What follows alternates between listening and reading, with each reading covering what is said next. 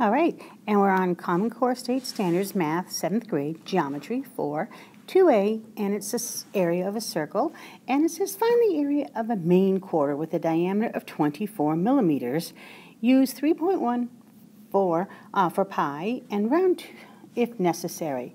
All right, so if we have a quarter, and it's going to be a Maine quarter, use your imagination, and uh, it is the diameter, diameter goes all the way across right through the center, is 24 millimeters.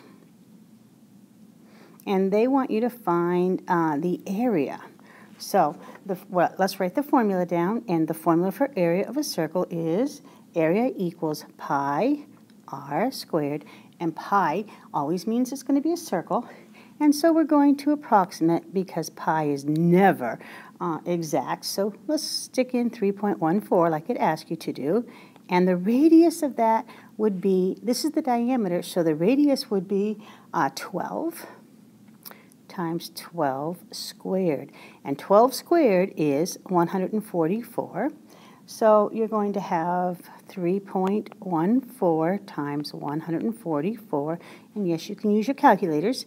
And so area is approximately 452 um, and 16th millimeters.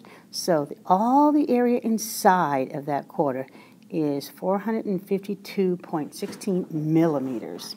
Thank you.